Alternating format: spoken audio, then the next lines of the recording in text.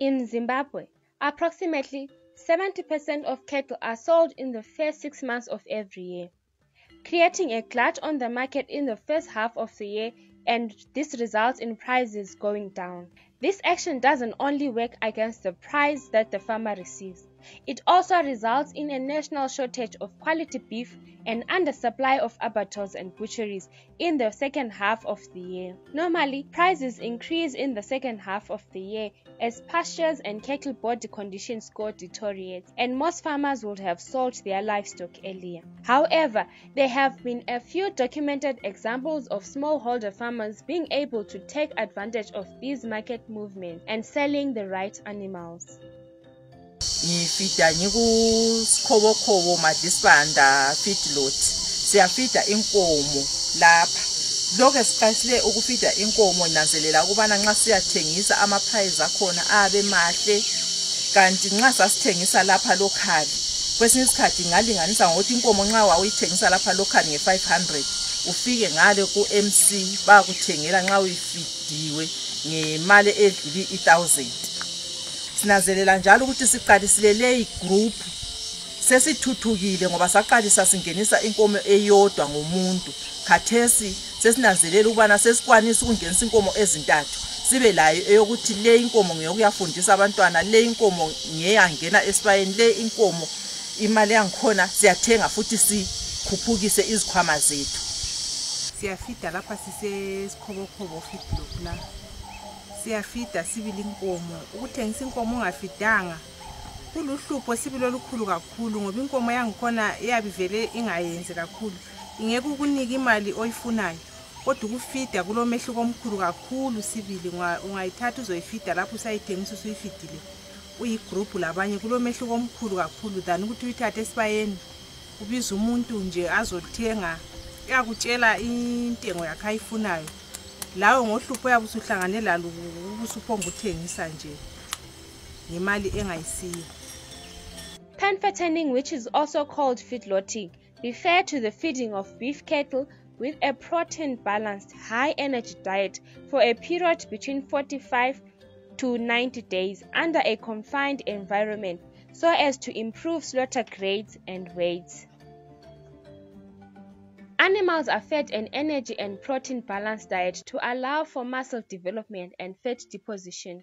Muscle development increases in live weight gain, while fat deposition improves the carcass fat cover.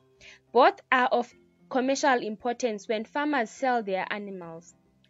Smallholder farmers, therefore, need to grasp both the rationale behind pen fattening and the process of pen fattening itself.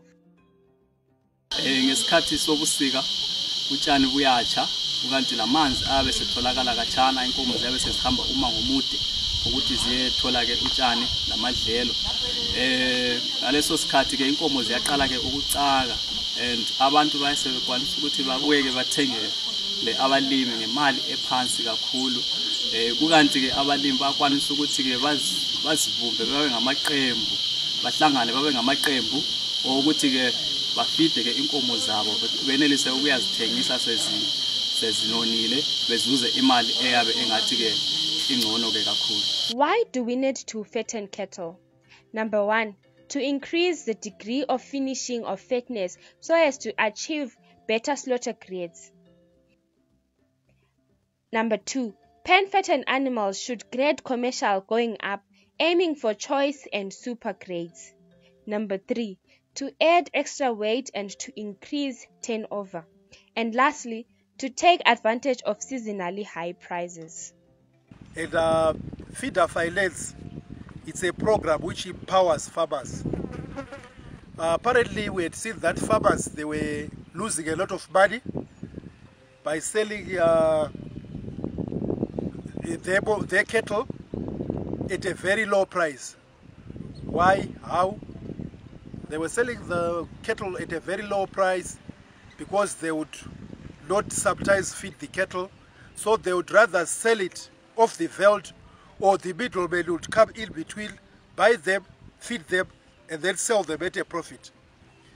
So feeder finance, the way it operates, it's uh, it doesn't sometimes operate all year round, but it can operate all year round if there's a drought. So what it does is usually around uh, mid June, July, August, September, October, November, the prices of meat, quality meat, because if you go to the abattoir, we've got uh, four grades. That is the super grade, which is the first grade, uh, commercial or choice, uh, economy and manufacture. So usually when you go around uh, June, July, August, the cattle they will lose their condition and usually you find a lot of manufacture coming onto the market. Manufacture grade is the lowest grade and the prices tends to be very low at that time. And usually we encourage farmers to feed their cattle so that at least by feeding their cattle, they will get a better grade. Like if they feed a manufacturer, it will sometimes go to economy or to commercial, which will be fetching more because on the market there won't be a lot of commercial on the market. So we are encouraging farmers when they feed their cattle, instead of selling those valueless bobbies at a value uh, uh, uh, price, it's better they feed them. So what we do with the feeder filets is we come, we engage the farmers, we sometimes train them before we before we do anything on the best bobby to put in a feedlot. But sometimes we get farmers who have got only two, three cattle, but that cattle will be so malnourished that to send it to the abattoir, it will fetch uh, a minimal cost. So what we do is we encourage that farmer, uh, after teaching them, to feed the bobe, at least even if it goes to economy, they will have got a better value than manufacture.